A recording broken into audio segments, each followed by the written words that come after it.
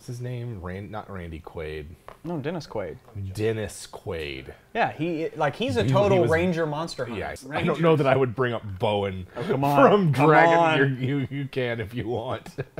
anything to be able to say, I am the last one. Hello, explorers. I'm Pruitt. This is Jim Davis. And our RP class series strides right along with the Rangers as we're going to help you push the frontiers forward and make sure your concept makes its mark. Let's get to it on WebDM.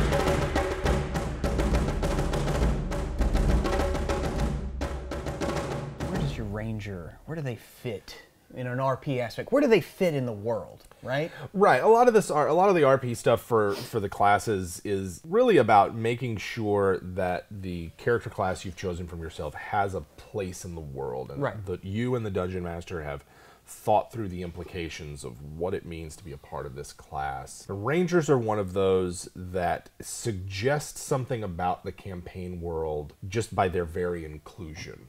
Yeah. Right. So the the ranger is is has a theme and a story of of this unending watch beyond the boundaries of civilization. They Yeah. whether they were were born there or whether they sought that region out, they exist beyond the border, beyond the frontier. And and they are in, in some senses like the first line of defense Mm-hmm. uh, for monsters and rampaging humanoids and threats that originate in the frontier region. You get the impression from rangers that they that they would be doing this regardless. Like there doesn't need to be a big organization that's sending them out there. That that they are very independent minded. They're very focused on on keeping civilization safe from threats that originate in the wild. Right, and while those townspeople uh, might think them uncouth and might not want them in the bar, they definitely want them on the border Sure, because right. that's that's where they belong, right? They, they, that's where they belong, and and Save us. right, and they might develop a, a, a, a sinister reputation because they are seen as mysterious figures who Mm-hmm. you never really know where they are or what it is that they're doing. The work of rangers is unseen, perhaps unappreciated or, or unaccredited uh, to them. It might be a case of where the greatest victories of the rangers are unsung, unheard of, because they happened out on the lonely, trackless wilderness that that you know exists in these worlds. right, and the and the continuity of that civilization that they're protecting and the normalcy of it Yeah. is the evidence of their victory. The Right. fact that they aren't dealing with these marauding bands of goblins or orcs or whatever Right, it right, is, and they just live their mundane lives. And when the ranger comes to town, every time somebody kind of says a snide remark, it's like, well, you wouldn't be able to make that unless I did my job, so you're welcome. Yeah, so you're welcome. And and there's probably a reason why they avoid civilization in towns, things like that, mm-hmm. because well, I have a bad reputation, but I don't want to develop sort of a disdain for the people and the places that I've sworn to protect. So I'm just going to stay out in the wild Okay.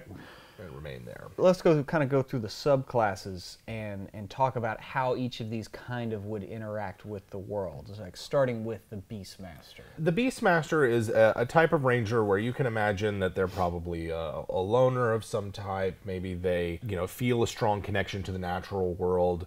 Maybe they have uh, connections with or associations with a group of druids or or a barbarian tribe that has a strong connection to a certain animal or something like that. The Uthgardt, however they're pronounced in Forgotten Realms, have that kind of.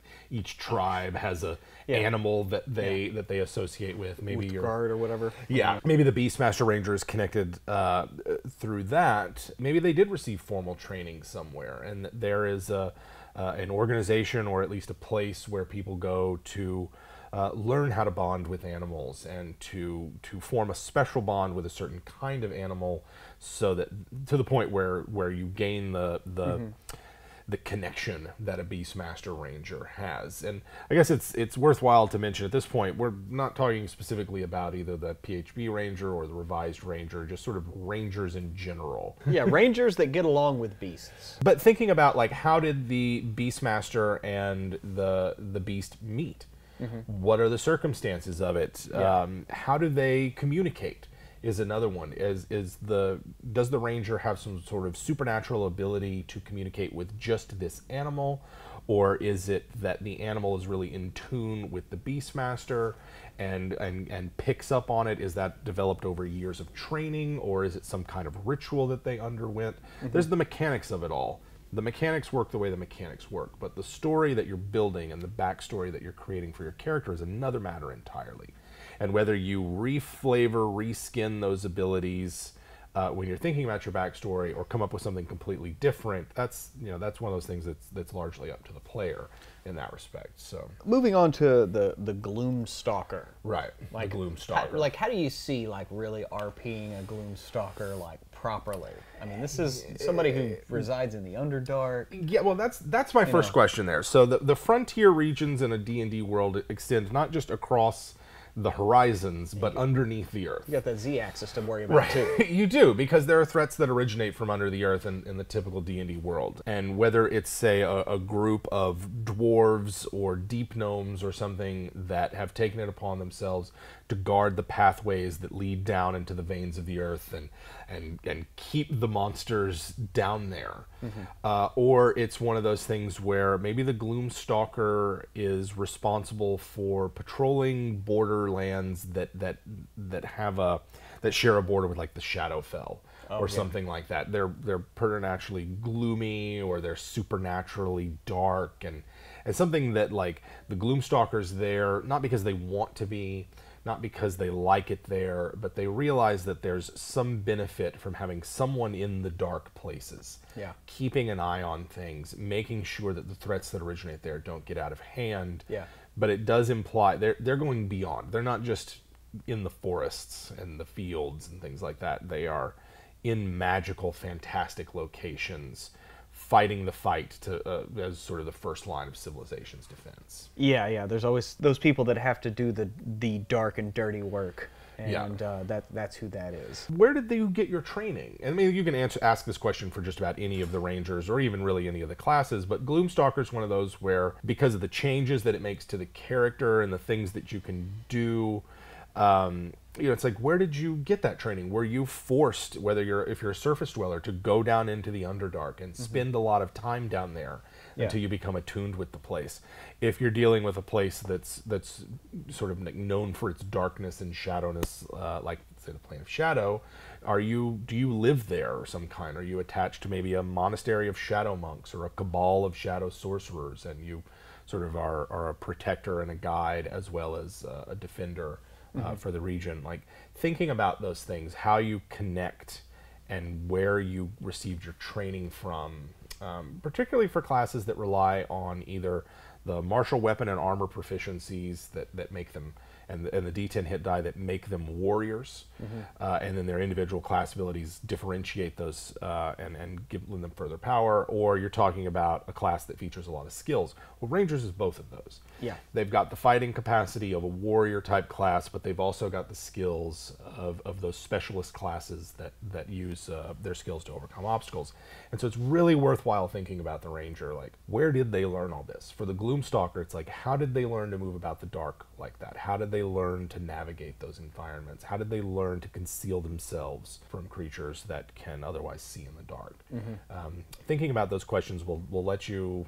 You know, it'll, you'll learn something about your character that way. Yeah, you go you go down to the uh, the Deep Gnome uh, Ranger Academy where the head where the head teacher is like a a blind old ranger that the drow like blinded. And Yeah. Except he just walks around, no stick, no nothing. No stick, no nothing, doesn't dodges it. people. Things out, are fine, You know, I mean, and he teaches you how to walk in darkness. Sight is a weakness. Yeah.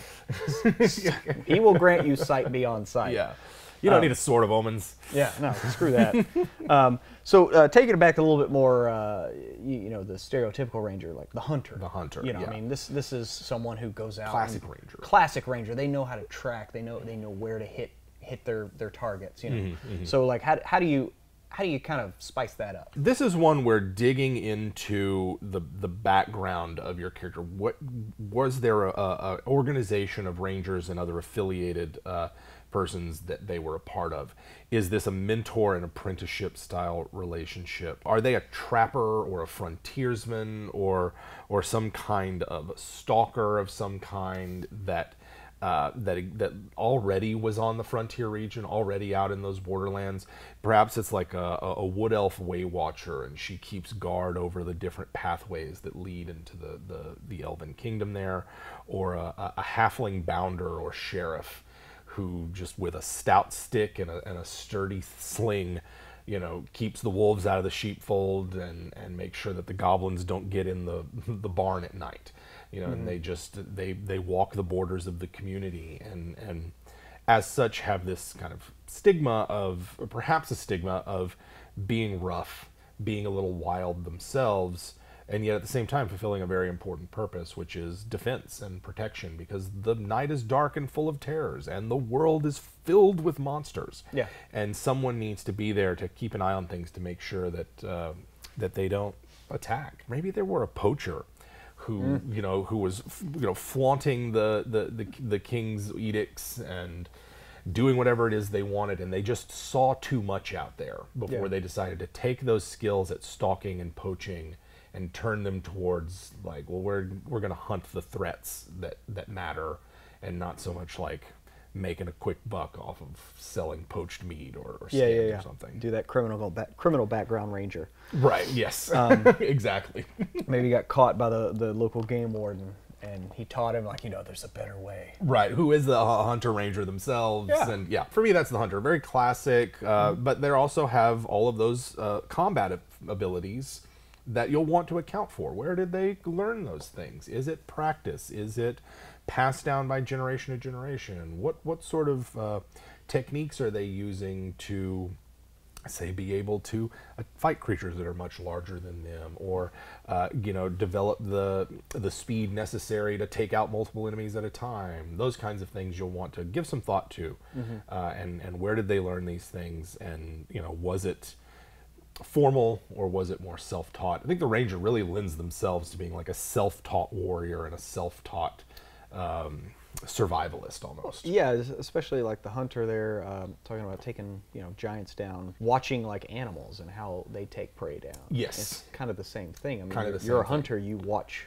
your prey. More of a monk style, really. Like well, it's like a monk. There's there's bits of monk there. There's bits of totem warrior. Yeah. I mean, and this is one of the things about D and D classes is that uh, particularly the, the way fifth edition is laid out, there's a lot of conceptual overlap oh, yeah. between these classes, and yeah. uh, certain types of hunter ranger might share a lot in common with certain types of barbarians, yeah. and and may be very different than say a, a scout rogue or a war or a fighter with the outlander background or something. Like all of those have they're in the same vicinity. They're mm-hmm. they're warriors at home in the wilderness. Yeah, yeah. It's the specific iteration of the ranger with their favorite enemy, the natural explorer, the ability to navigate the terrain, and mm-hmm. and and of course the magic that they have as part of their, um, you know, part of their spell casting that that makes them different than scouts and outlanders and things like that. Uh, so moving on with the the Horizon Walker this person that, that walks the plains and, and knows the way all the ways through right? Right. Where do you learn that shit?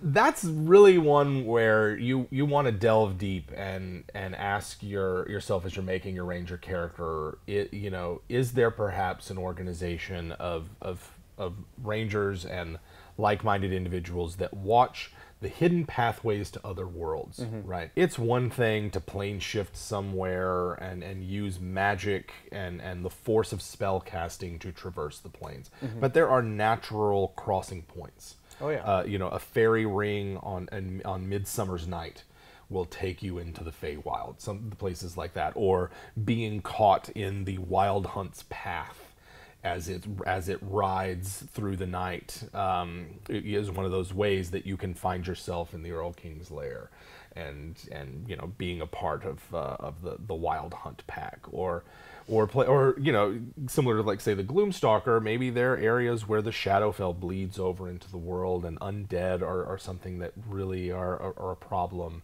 These are the kinds of rangers that those natural spaces in the world where the other worlds and dimensions and planes that make up Dungeons and Dragons multiverse cross over those rangers guard those areas. And in a typical d&d world there's probably a lot of places like that where strange magical effects abound and planar magic is present. And the, the, the horizon walker doesn't like have an academic like deep understanding of them but they're able to understand enough and the threats that originate from there that they guard those places. Mm-hmm. And that's really that's how I see the Horizon Walker fitting into a larger world. Now it's time for the player to ask themselves, you know, if they go this route, where did they learn this? Is it an organization? Is it a mentor uh, apprenticeship relationship, or are they self-taught? Um, and answering those questions will tell you a lot about what kind of uh, world that you live in, yeah, what yeah. kind of world they inhabit. And then closing out. Uh I mean, Monster Slayer. Monster Slayer might be my favorite of the ranger archetypes because uh, it reminds me the most of my one of my favorite video games, The Witcher. Yeah. Right. Geralt is really, and, and Witchers in general, really, to me, I think Ranger is a better fit for them than just about anything. I know it doesn't match up. There's the signs are different than D and D spells yeah, yeah, yeah. and all that other stuff. But speaking thematically, not trying to translate the abilities of, of a Witcher into D and D, but just like the purpose of the Witcher is that it's a professional monster hunter and that there are monsters that exist in the world and you don't want just anybody going out and fighting them because some of those monsters are not really monsters they just look like monsters but yeah. they're thinking reasoning sentient beings that need to be negotiated with some of those monsters have tricks or traps or things like that associated with them that a headlong charge and rooting them out is not going to, to cut it. And then there are monsters that are just too dangerous, no matter what kind of, of knight or warrior you warrior you are, you need that extra edge that being a witcher gives you. I see Monster Hunter fitting firmly and solidly within that theme, right? They've got a bit of magic to back them up. They are able to fight and deal with the spell casting monsters that are all over the D&D world and not and, and, they're better equipped for that than say a hunter is yeah. Which hunter is more equipped for dealing with like big beasts, giants. You know, you can see a, a, hunter tracking down a manticore or a rampaging hill giant or something like that. Where it's the monster slayer, where if you have if you have a hag on your hands, or if there's a particularly vicious fey or something like that that you need to need to have rooted out, the monster hunter is more appropriate. Sorry, the monster slayer is more appropriate than the monster hunter. Good grief, the regular hunter and the monster slayer. Monster Slayer Hunter. Yes, the hunter Trapper. of monsters to slay. The hunter of slaying monsters. Uh, so let's talk about some RP hooks here. Some of the RP hooks from Xanathar. From Xanathar. So right. you got you got your view of the world, which is is is I love that for Rangers. It's perfect since uh-huh. they, like you said, they do kind of reside on that border between civilization and nature. Uh-huh. Uh, you also have your homeland, so where they're going to be happy and at home. Yeah. Uh, and then their sworn enemy. Right, right, right. Um, so let's let's start with the with the view of the world. Like, how should a ranger see the world? It, it's a big question to ask, right? Because if we if we accept that the core story of the ranger is that un, you know a, a warrior who has an uh, an, a never-ending watch in the wilds to protect civilization, mm-hmm. then their view of that civilization and civilization's place in the larger world informs a lot. Uh, it could be that civilization is a a, a, a place uh, that they long for in a theoretical sense and and want to protect in in, in a you know in a very concrete sense. But when it comes to living in a city, being around all those people. Um, and, and having to deal with urban life and civilization, a character like the Ranger is just like, you know what, I'm, I'm a loner at heart. I prefer the wild places in the world and the peace that comes through nature. And I can do good for you, this thing that I love or that raised me or that gave me a purpose at one point in my life. I will protect you now, mm-hmm. but I've got to leave you. Like, I just can't yeah. be around you.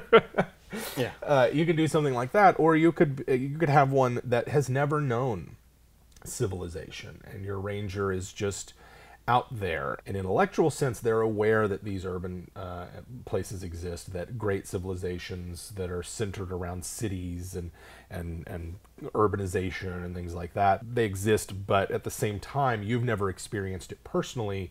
You just know that out here in the wild is where you belong, and that there are things out here in the wild that you are sworn to, to defeat and other things that you are sworn to protect. Sounds kind of like Tarzan. I, you know, Tarzan see, feels like a, a, a bit of a ranger to me. Uh, it could be a, a barbarian, could be any number of things, but I, I think like we see a, an archetype like Tarzan, was just like a, the king of the jungle and affinity with all these animals and very physical character. Um, you can sort of see the parallels between a, a character like that and, and a ranger and, and draw some inspiration from it. Are they disdainful of civilization? Do they see civilization as making people weak? And, and unable to protect themselves. And someone has to be out here defeating the threats, but it would really be better if everyone weren't so useless. And and we're instead, uh, you know, joining them in a, in a fight for uh, to, you know to reclaim the wilds from uh, from all these monsters. Your ranger's relationship to uh, to going to inform so much about them. And chances are the campaign's not going to take place entirely in the wilderness, and you're going to have to deal with urban environments and urban settings and civilization. And knowing how your character views it from the beginning is just prepares you for those moments where you can add more depth to your character and show off a bit. Well, yeah, like you said, uh, you know, when you got to go into civilization, you have to you have to think about how that's going to be with uh, with regards to your homeland. I mean, like if you're used to being in the open tundra, Right. you know, uh, up north, and you come down a little south, and there's the trading village. Well, how are you going to do that? Yeah, how are you gonna do that? I, and and so the homeland is one where it's that type of terrain that you're most at home in, and that type of environment that when you look at it, you look around and you say, "This this is where I belong. This is what you know. This is what I want to protect, and this is where I want to live." Maybe it is the area where they grew up and has a strong connection to their past. Maybe there are communities there or people in that that region uh, that the ranger cares deeply about, and and their fight in the wilderness is a personal one and not a civilizational one. It's not I'm going to protect the civilization or cities or the kingdom. It's my family is out there. Yeah. If I don't work to stop these monsters, my family will be hurt. My friends, the people I care about. Your homeland's a part of your past, or maybe your homeland is like a place that you adopted. You found it later in life, and you never realized how beautiful the forest was until you visited one. And ever since then, it's been a, it's been a part of you, and you there's no way you could leave that forest behind. That raises the question of like, how does that interact with your natural explorer ability? Yeah. and and you know obviously depending on what ranger you have the details of that natural explorability are going to be different. But there's nothing stopping you from from picking a certain type of environment and saying like yeah this really is my character's favorite place. They know the most about it. They're the most ho- at home here. They've spent the most time there. And and really fleshing that out and thinking like what's my ranger's relationship to the environments that they find themselves in? Mm-hmm. How did they learn to navigate those places? Was this based purely on practical experience or was there some sort of, sort of formal education that went on in it? And i think like being able to answer that again tells you a lot about your ranger. Are they an intuitive loner who just like understands these things and is a patient observer of the natural world around them which is how much how they know so much about it or are they someone who has read the ancient scrolls and, and, and codices that the ranger order has passed down from generation to generation, preserving the wisdom of the order and passing it on to a new generation? Um, those are all different ways, and, and mixed and matched. It was a you ran across a hermit who took you in and taught you the ways of the wild as they knew it, and now you you know you've taken up that mantle. Um, all of those are connected to a natural environment, and and given the uh, the primacy of the natural world in the ranger's theme, it's worthwhile thinking about how you connect to the environment around you and how comfortable you are in it. Invariably, there will always be someone who wants to tear down either the civilization you're protecting or the homeland that you call home. Yes. And that obviously becomes your sworn enemy. Maybe not your favorite enemy, Right, right, right.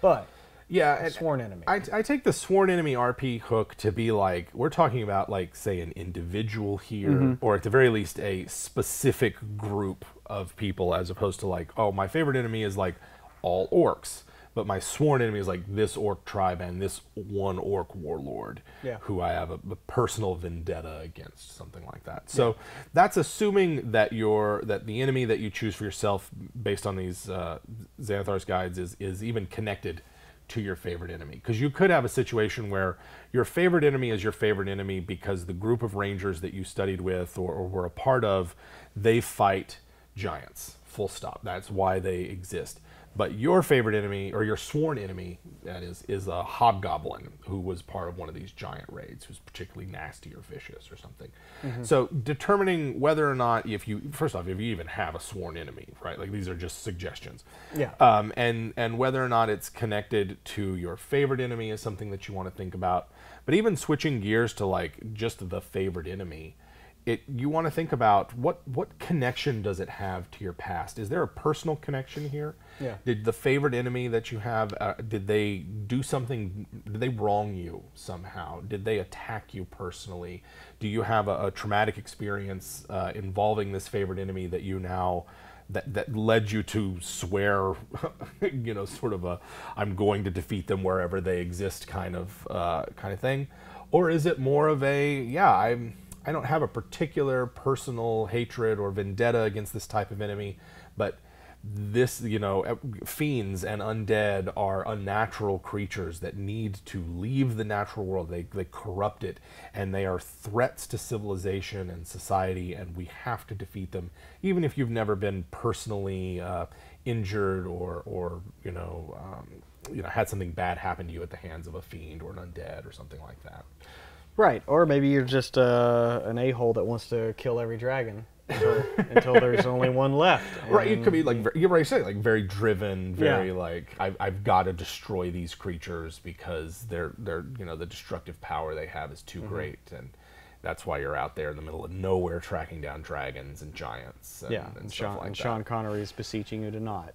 So, uh, it's a shitty movie, but It is still. a shitty movie. um, so so yeah so kind of moving moving on with, with this like thinking about the the, the, the class abilities because they do have the, the ranger does have a few class abilities that that really reach into a lot of aspects of the game with like Right. favorite enemy but also um, like natural explorer which Uh-huh, you've touched on earlier but that affects a lot a lot of travel. It affects a lot affects a lot of travel and because they're they're sort of the defining class features of of the class it's worthwhile to think about how your character's background and backstory and how you're going to portray your character interacts with those things. The same goes for all of the class mechanics and, and the, the classes. But like that natural explorer uh, again what does it look like when you're traveling through the wilderness? Describe the way your character moves through through their environment. Describe how they impart the benefit that the party members receive because there's a ranger in the party. How how does that work is it is the ranger giving everyone a pep talk before they go out? Are they constantly minding the group to make Yeah. sure? Is it uh, is it sort of uh, um, is it a magical presence? And something that just sort of happens automatically when the ranger's in the party that the rest of the group just sort of instinctively copies their movements and takes cues from the ranger and and uh, you know and, and that's where those benefits impart. It's yeah. worthwhile thinking about those things because it like i said it, it, it it's one thing to just be like, oh, guys, all right, you guys have a week uh, uh, trekking across the wilderness, and then you're going to get to your destination. All right, what is it you guys do? And then it's like a couple of die rolls later. All right, you get there, Yeah. and that's like so much time. You you could it, just because there's not a fight or a chasm to cross or something like that doesn't mean you should just rush past it. And there's information and and role playing opportunities that can come out of those moments when you give characters a moment to say like or we give players a moment to say like what are your what's your character doing on the trip? How are they interacting with each other? Give me Mm-hmm. an idea of what their day-to-day life is like. It doesn't have to take up a lot of time.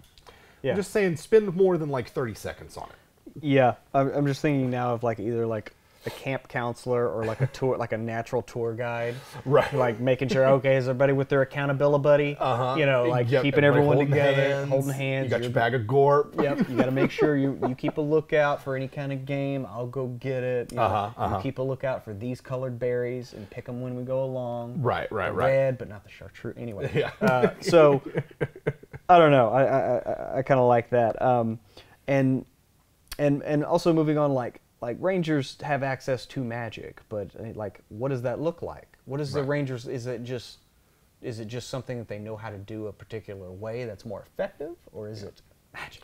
Is it magic? I you know the, the the way they kind of explain it in the the player's handbook is that you know rangers spend all this time in the wild and the natural places of the world that they can't help but learn something from it in a magical sense, which is again speaks to the inherent background magic that's in Dungeons and Dragons. The fact Yeah. that these places are fantastically magical, even if they're not always spells that you can point to in the player's handbook at work. And so perhaps it is that the ranger just picks up some little, they're dabblers. They pick up a trick or two, they learn a spell. Maybe they spent some time with some druids for a while who taught them that magic, or they met a, a nature spirit of some kind, a dryad or an, a treant or something that, that imparted some of that on them. Uh, but you could also kind of reflavor their magic to just be knacks or tricks or things. There's a difficulty there, right? Like, does that mean that your your uh, swift quiver can't be counterspelled? Um, you, you know, if you're if you're describing your spells purely by the effect that they produce and not the source of them, then you can run into those kind of uh, th- those moments where there's a dissonance between what your player thinks of as, as their abilities, where they come from, how they manifest, and what the game rules allow. Right. Whether something can be dispelled or counterspelled, or whether it works in an anti-magic field. Those details to work out with your uh, with your dungeon master beforehand. I'm kind of of the opinion that because Ranger's not a full caster and their spell selection is rather limited, that there's nothing un, un really unbalancing about saying this isn't necessarily magic. Yeah. This is your cure wounds is a result of you mixing a poultice together from the various herbs that you've found, or you or you you know that you've steeped in a tea or something like that that the mm-hmm. player drinks. It, the effect of it is a one d8 plus wisdom mod spell Yeah, yeah. but the manifestation of it is maybe not as magical as say a druid commanding the spirits of nature to you know to do its bidding kind of thing Yeah, no, I, I totally get what you're saying, although I can detect um, uh, Neckbeard's a quiver with rage as you're saying that out in the world right now. Um, i mean there, there might be I, Uh, you know there's it, it, it, it's a- it's a big ask Yeah. of a ranger player to, to come to a dungeon master and say hey i don't want my spells to be spells Yeah. because the fact that they're spells means something for the game rules. It Yeah. means that there's certain things that interact with them in certain ways, but there's a lot of interest in a spellless ranger. And not everyone wants to go rogue scout for that. Some Mm-hmm. Right. people want to stick with the ranger. They're interested in all of the abilities that the ranger gets. Mm-hmm. And I think it's a nice compromise to just be like, yeah, you're only going to know like a handful of these spells compared to the other spellcasting classes Yeah. and none of them are just like game breakingly powerful they're very useful they're situational etc there's nothing that says that this isn't a result of special training uh, or something obviously it's a case by case basis. Some some magic is clearly magic. Yeah. um, and other magic can be more explained by skills and, and equipment and things like that. Right, right. it's up to the, the individual in case by case basis. So, uh, so, so to close out, let's let's let's move on to uh, away from from matters natural. Yeah. And bring it back to the city. gotcha And gotcha do and let's talk about an urban ranger. What would that look like? Like, like how would you do that? Yeah, everybody loves the urban ranger and the urban druid. I, I this is one of those things about Dungeons and Dragons that I don't quite understand why mm-hmm. it, it starts to feel like there's a grid that every that people want to fill in with. Make we got to make sure we've got a an archetype for every potential. Yeah, it's like D and D character bingo. Yeah, yeah, okay, all right. We've got urban characters, but we, but we don't have a natural urban character over here. Yeah, yeah. Uh, that said, there is conceptual space for urban druids and urban rangers and things like that. Like I a rat catcher. a rat catcher is a good one, right? First off, an urban environment is not devoid of a natural component, right? These Yeah. are not sterile, lifeless environments. There are there's life there's life that is there. It might not be as abundant and, and unrestrained as it is out in the trackless wilderness, but there are there's wildlife to be Yeah. found there. There are animals that to be found there. There's Yeah. vegetation and the like. There's all sorts of things that give some kind of natural connection to a city that a ranger can can uh, latch onto. Yeah. So, like you're saying, a rat catcher, a hound master, Yeah. uh, a stable master, something like, Yeah. particularly for the beastmaster types. There's plenty of animals inside a city that the beastmaster ranger can share a connection with and sort of be connected uh, connected to. Yeah, I mean, you know, there's certainly there's some version of PetSmart. In D and D. You know, you got a town, there's you got a bunch of rich people, they want a bird or this exotic Uh-huh, thing, uh-huh. you got a guy who's like, oh, I know how to get that. I know the people to talk to, and he Yeah. facilitates bringing in animals from different places, and And- he, and- and he maybe- keeps them like he bought a zoo. He bought a zoo, and maybe fantastic beasts as well. Maybe the skills that they them, use and where to find them, and it, and and you know he's got he's got skills with mundane normal animals, but this is also the guy to go to when you bring back your griffin egg. Yeah. And you're like, well, this thing is gonna hatch at some point, and What what? do I- how do I make sure that this thing doesn't eat me when it's big enough to? Right. You know uh, that th- that's the, the sort of the urban beastmaster Player- is who you yeah. might go to Yeah, players love raising animals. they just love getting eggs and raising things that finding come babies out of them. and- Find- they're just yeah. so domestic and the, yeah, I know, what's right? wrong with these players Like, in there but you're gonna go out on an adventure. Yeah, I want to take Oh, it with yeah, I want to take it with me, right? Like, when is it going to be powerful You're enough gonna carry it. Can I can I carry this egg? Put it in a backpack. You got some, got, some got an egg papoose. You probably want to do like a bag of holding so it's harder to break. Uh, snaps know? in like a nut. Yeah. Uh, anyway, slide in like a peanut. Um, so there's a uh, that's w- one way right there. Yeah. I can also see uh, a bounty hunter as another con- concept for an urban ranger that that works. Right, you've got the tracking, you've got the uh, the the ability to to stalk a prey. Uh, they need to be good fighters. They need to be good with skills. They probably have less like survival maybe take survival because survival's mixed up with tracking and things like that but maybe Yeah. like not nature or something and more like say insight or persuasion or something like Yeah. that Your, your favorite enemy is probably gonna be humanoid. probably going to be humanoid well for one humanoid's a not a bad pick for, for A lot of things you find in D and D that are humanoid. yeah. right um, and so I, I think like that's a, that's one um, but you can kind of go uh, a, different route what if the ra- urban ranger it takes that concept of a lone warrior fighting on the front lines of defense against civilization that sounds an awfully lot like a vigilante superhero to me and an urban ranger might be one of those weirdo loners who just dons a cape and a mask at night Yeah. and goes out and beats up criminals. you know, that's, pretty great. That's kind of what that's sort of what they're doing out in the wild, right? They're taking it upon themselves. Unless you've got like a king with an official organization of rangers that officially goes out there. And listen, there's nothing wrong with that. The Roman Empire used to pay agents and, and rangers and all sorts of things that were part of the legion that lived with the barbarians beyond the borders of the empire to report back on what was going on, Yeah.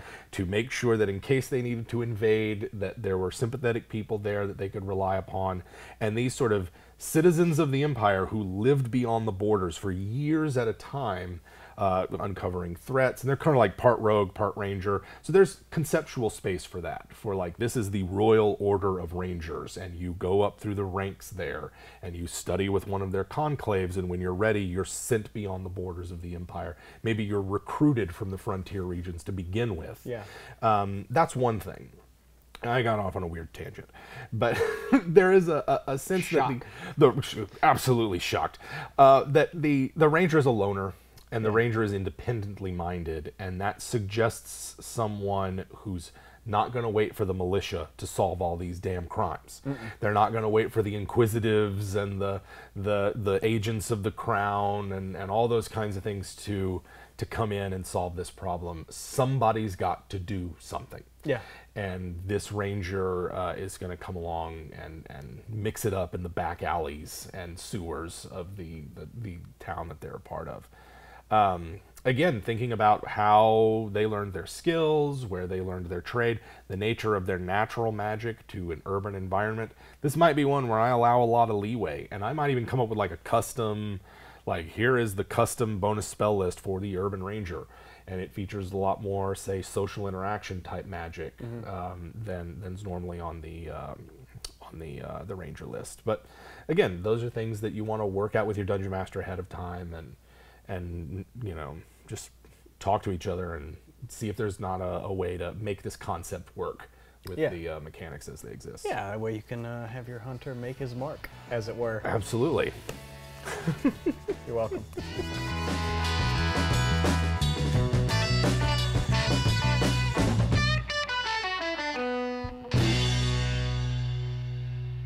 Uh, expectations for Mordenkainen.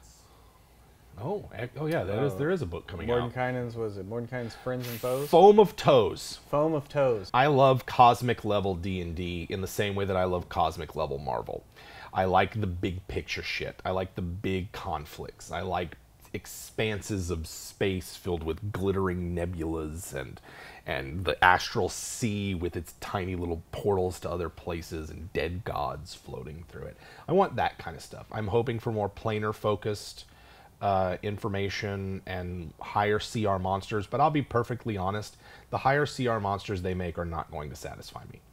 And they're just not. I, I find that whatever design team that, that, that makes them and, and whatever audience that they're uh, making the monsters for, it, it doesn't feel like they're being made for the kinds of games that I'm used to running. Um, so I will have to change them. Things will have to be altered. Um, but I'm interested in the lore of it uh, most. I think, particularly like the various conflicts that that uh, that are present in Dungeons and Dragons, where it's like elves versus elves, elves versus dwarves, Githyanki versus Illithids, Githyanki versus Githzerai. Um, you know, all of those conflicts that are present. Uh, I, I'm I'm curious to see about, and I think Mordenkainen is a good uh, frame of reference for that because, as you know, the leader of the Circle of Eight, he tries to keep the balance uh, on Oerth, which I think is how you're supposed to pronounce Oerth. It's Oerth. Oy. yeah, we're gonna go over to Oy. We're gonna go over the Oerth, uh, which should tell you everything you need to know about how seriously the people in early Dungeons and Dragons took their game, yeah. yeah. and how seriously you should probably take yours. Yeah, Uh, I- you should take your silliness very seriously. exactly. Yeah, Always revel in the silliness. always revel in it. Um, yeah, I hope that there's some. Um, I hope we get some random, like random foe charts, like to create foes. And, uh, I don't know. I don't. I don't know ex- everything that's going to be in it. Yeah. But I mean, I, I'm sure there's going to be. You know, we're going to get stats on all the people. Stats on all We're going to get stats on Drizzt in fifth. Yeah, you I, well, yeah. There are stats for Drizzt in fifth edition out there. Oh, there. already? It's a Yeah. CR10. Uh, well, whenever they used him in um, Acquisitions Incorporated game, and Perkins posted the stats he used. So that's Oh. about the closest it's come. Um, Tenth level. uh, CR10. It wasn't, he, Oh, wasn't- he okay. didn't I'm even sorry. have levels. Right, right. Sorry, my bad. Yes. Yeah, yeah. CR10. Uh, I think it could have been, it could have been more, but I, I you know, it's Mordenkainen's Tome of Foes is, you know, I, I- I'm excited. Like I said, I'm excited about the lore, less so about the monster stats than I am about the monster lore, and I, I want, I'm ready for them. I'm ready for the fifth edition team to show us something genuinely new and not just like, hey guys, you remember that thing that you liked, or your or the people who are older than you said they liked when they were young.